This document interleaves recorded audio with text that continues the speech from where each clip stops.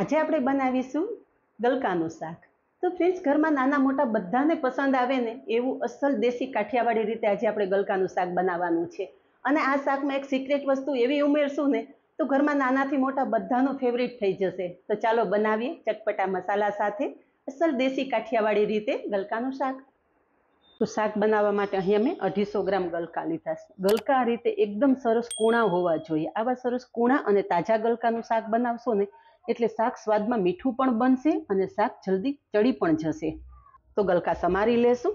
તો ગલકાનો આગળ અને પાછળનો ભાગ આ રીતે આપણે અલગ કરી લેશું. અને એકદમ કૂણી એવી છાલ હોવાથી વધારે જાડી નહીં, પણ આ એકદમ પાતળી પાતળી છાલ ઉપરથી ઉતારી લેશું. અહીંયા બંને ગલકા પરથી છાલ ઉતારી લીધી છે. ગલકા સમારી લેશું. એક ગલકાના બે ભાગ કરી અને આ રીતે આપણે વચ્ચે કાપો કરશું. અહીંયા તમે જુઓ, એકદમ કૂણા એવા આપણા ગલકા છે. આ રીતના ગલકા હશે ને તો જ તમારું શાક મીઠું થશે. જો સેજ પાકા ગલકા હશે કે કડક થઈ ગયેલા ગલકા હશે ને તો ચડતા પણ વાર લાગશે અને શાકનો સ્વાદ પણ બરોબર નહીં આવે એટલે ગલકા એકદમ સરસ કૂણા લેવાના. આ રીતે આપણે ચાર ભાગ કરી અને મીડિયમ સાઇઝના ટુકડામાં ગલકા સમારી લેશું. આ રીતે આપણે ગલકા સમારી લેવાના છે. તો અહીંયા ગલકા સમારી લીધા છે. હવે શાક બનાવતા પહેલાં શાક માટેનો એક સ્પેશિયલ મસાલો તૈયાર કરવાનો છે. તો સમારેલા ગલકા સાઈડ પર રાખી દેશું અને મસાલો બનાવી લેશું. એના માટે અહીંયા અમે ખાંડણી લીધેલી છે. તો ખાંડણીમાં અહીં અમે નાની સાઈઝની છથી સાત કડી લસણ લીધેલું છે. લસણનું પ્રમાણ તમે તમારા ટેસ્ટ મુજબ લઈ શકો છો, પણ ગલકા કે તુરિયાના શાકમાં લસણનું પ્રમાણ થોડું આગળ પડતું લેવાનું, જેથી શાક વધારે સ્વાદિષ્ટ લાગે. પણ જો તમે લસણ ના ખાતા હોય, તો લસણ સ્કીપ કરી દેવાનું. હવે લસણની સાથે જ અડધી ચમચી જીરું ઉમેરશું. અને સાથે થોડું મીઠું ઉમેરી દઈશું જીરું અને મીઠું ઉમેરી અને લસણ આપણે ખાંડી લેશું. તો અહીંયા લસણ ખાંડી લીધું છે. તો લસણની સાથે બે ચમચી લાલ મરચું પાવડર ઉમેરશું. લાલ મરચું પાવડર પણ તમારા ટેસ્ટ મુજબ તમે વધારે કે ઓછું કરી શકો છો. હું અત્યારે બે ચમચી ઉમેરું છું. એ પણ ખાંડી અને આપણે લસણ સાથે સારી રીતે મિક્સ કરી લેશું. આ રીતે લસણવાળી ચટણી તૈયાર કરવાની છે. પણ જો તમે લસણવાળી ચટણી ઘરમાં તૈયાર રાખતા હોય, તો તૈયાર ચટણી તમારે શાકમાં ઉમેરી દેવાની. તો અહીંયા લસણની ચટણી તૈયાર થઈ ગઈ છે. તો લસણની ચટણી આપણે એક વાટકીને કાઢી લઈશું હવે એની સાથે જ આપણે અડધી ચમચી હળદર ઉમેરી દેશું અને બધું મિક્સ કરી લેશું. થોડું પાણી ઉમેરી અને મસાલા પેસ્ટ તૈયાર કરી લેશું. આ રીતે મસાલા પેસ્ટ તૈયાર કરી અને જ્યારે શાકમાં ઉમેરશો ને, ત્યારે શાકમાં મસાલાનો સ્વાદ બહુ સરસ આવશે. કારણ કે મસાલા થોડું પાણી ઉમેરીને મિક્સ કરવાથી થોડા ફૂલી જાય છે. જેથી મસાલા તેલમાં પડતા બળતા નથી અને શાકનો સ્વાદ પણ બહુ સરસ આવે છે. અહીંયા શાક માટેની મસાલા પેસ્ટ તૈયાર થઈ ગઈ છે. હવે શાક બનાવી લઈએ. તો શાક બનાવવા માટે ગેસ પર કડાઈમાં તેલ ઉમેરશું.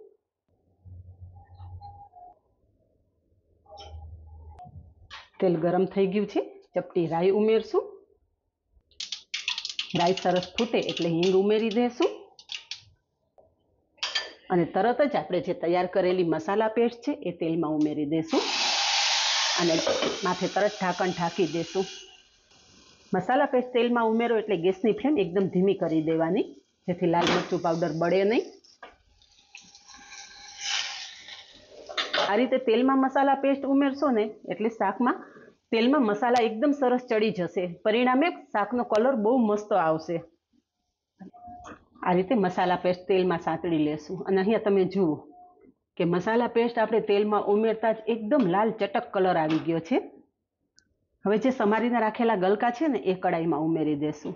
આગળ મેં તમને જણાવ્યું એ પ્રમાણે આજે શાકમાં એક સિક્રેટ વસ્તુ ઉમેરવાની છે. જેથી આ શાક ઘરમાં નાનાથી મોટા બધાનું ફેવરિટ થઈ જશે. મસાલા પેસ્ટ આપણે ગલકા સાથે એકદમ સારી રીતે મિક્સ કરી લેશું. આપણે લસણની ચટણીમાં કાચું જીરું ઉમેરેલું. લસણ પણ કાચું હતું. એટલે આપણે મસાલા પેસ્ટને તેલમાં જ ઉમેરવાની છે, જેથી કરીને જીરું અને લસણનો કાચો સ્વાદ જતો રહે.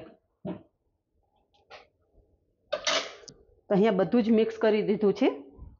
હવે શાકમાં સ્વાદ પ્રમાણે મીઠું ઉમેરશું. આપણે જે મસાલા પેટ તૈયાર કરીને એમાં લસણ સાથે પણ મીઠું ઉમેરેલું, એટલે મીઠું જાળવીને ઉમેરવાનું. એટલે સ્વાદ પ્રમાણે મીઠું ઉમેરી અને બધું એક વખત સારી રીતે મિક્સ કરી દઈશું હવે અત્યારે આપણે શાકમાં પાણી નાખવાની બિલકુલ જરૂર નથી. ઢાંકણ ઢાંકી દેશું. ગલકામાં ઓલરેડી ખૂબ જ પાણીનું પ્રમાણ હોય છે, જેથી ગલકામાંથી પાણી છૂટશે અને શાક બફાઈ જશે. પણ જરૂર પડે તો જ છેલ્લે આપણે પાણી ઉમેરશું. કારણ કે આપણે એમાં એક સિક્રેટ વસ્તુ ઉમેરવાની છે. તો ઢાંકણ ઢાંકી દેશું અને ગેસની ફ્લેમ મીડિયમ રાખી અને ગલકાને ચડવા દેશું. એકાદી મિનિટ પછી જોઈએ તો અહીંયા તમે જોઈ શકો છો કે ગલકામાંથી ઓલરેડી પાણી છૂટું પડવાની તૈયારી થઈ ગઈ છે. ગલકા આ રીતે ઉપર નીચે કરી લેશું. ફરી પાછું ઢાંકણ ઢાંકી દેશું. આ રીતે ગલકા બેથી ત્રણ વખત ઉપર નીચે કરવાના, જેથી બધા જ ગલકા એક સરખા બફાઈ જાય. અહીંયા થોડી વાર પછી તમે જોઈ શકો છો કે ગલકામાંથી ઘણું બધું પાણી રિલીઝ થઈ ગયું છે અને ગલકા પચાસ ટકા જેટલા કૂક પણ થઈ ગયા છે. હવે ગલકામાં ઉમેરવાની સિક્રેટ વસ્તુ છે, એ છે મગની દાળ. તો અહીંયા મગની દાળ એક મુઠ્ઠી જેટલી મેં કલાક પહેલાં હુંફાળા ગરમ પાણીમાં પલાળી દીધેલી. મગની દાળમાંથી પાણી અલગ કરી લેશું. અને અહીંયા તમે જુઓ કે એક કલાકમાં મગની દાળ એકદમ સરસ પલળી ગઈ છે. મગની દાળને પલાળતા વધારે સમય નથી જોતો. અડધી પોણી કલાક તમે પલાળશો ને તો પણ તમારી મગની દાળ એકદમ સરસ પલળી જશે. તો પલાળેલી મગની દાળ ગલકા પચાસથી સાઠ ટકા જેટલા કૂક થાય ને ત્યારે આપણે શાક સાથે ઉમેરી દેવાની. અને મિક્સ કરી દેવાની. જેથી ગલકાની સાથે મગની દાળ પણ એકદમ સરસ બફાઈ જાય. મગની દાળ ગલકા સાથે એકદમ સારી રીતે મિક્સ કરી દીધી છે. અને આ શાકમાં આપણે પાણી ઉમેરવાની જરૂર નથી. અહીંયા તમે જોઈ શકો છો કે ગલકામાંથી ઓલરેડી ઘણું બધું પાણી રિલીઝ થયેલું છે. તો ગલકાના પાણીમાં જ મગની દાળ પણ બફાઈ જશે. ઢાંકણ ઢાંકી દેશું અને ગેસની ફ્લેમ એકદમ ધીમી જ રાખશું. થોડી વાર પછી શાક ચેક કરી લઈએ. અહીંયા તમે જુઓ કે બિલકુલ પાણીના ઉપયોગ વગર ગલકા એકદમ સરસ બફાઈ ગયા છે અને ગલકાની સાથે મગની દાળ પણ સરસ બફાઈ ગઈ છે. અને શાકનું ટેક્સચર તમે જોઈ શકો છો ફ્રેન્ડ્સ, ઓછા તેલમાં પણ આ શાક એકદમ મસ્ત તૈયાર થયેલું છે. હવે છેલ્લે શાકમાં આપણે દોઢ ચમચી જેટલું ધાણા જીરું પાવડર ઉમેરશું. ધાણા જીરું પાવડર આ રીતે છેલ્લે જ ઉમેરવાનો. ધાણા જીરું પાવડરનો છેલ્લે ઉમેરવાથી એકદમ મસ્ત સ્વાદ આવશે. બધું જ મિક્સ કરી લેશું. તો આપણે ગલકાનું શાક મસ્ત મજાનું તૈયાર થઈ ગયું છે. તો બિલકુલ પાણીના ઉપયોગ વગર એકદમ મસ્ત ચટાકેદાર એવું આ ગલકાનું શાક તૈયાર થયેલું છે.